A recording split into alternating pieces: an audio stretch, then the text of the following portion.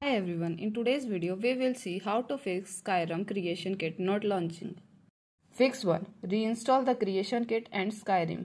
Use the Windows uninstaller to remove both Skyrim and the creation kit from your computer.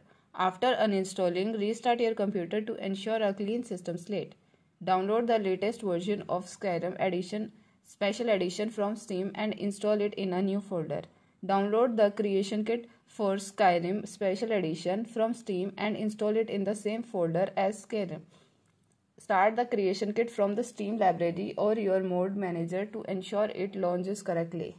Fix 2. Check for blocked files. Make sure that your antivirus software or Windows does not block the necessary files for the creation kit. You can check this by right clicking on the creation kit executable and selecting properties. Then look for a message that say this file came from another computer and might be blocked to help protect this computer.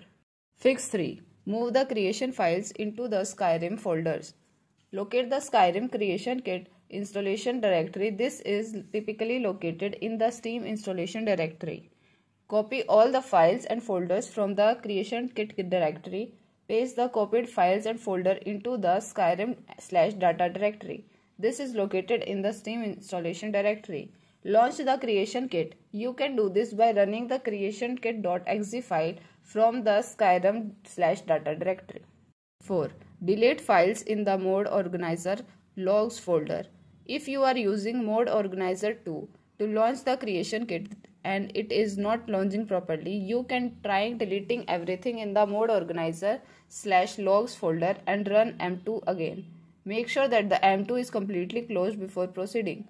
Navigate to the mod organizer slash logs folder typically located in the same directory as the m2 executable. Delete all the files in the logs folder.